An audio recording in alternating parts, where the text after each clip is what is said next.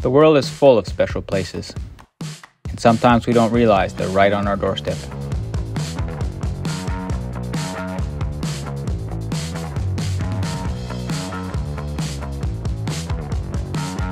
Here in Girona, where we live, we have this amazing landscape all around us. Sometimes keeping it local and easy is even better than a huge adventure.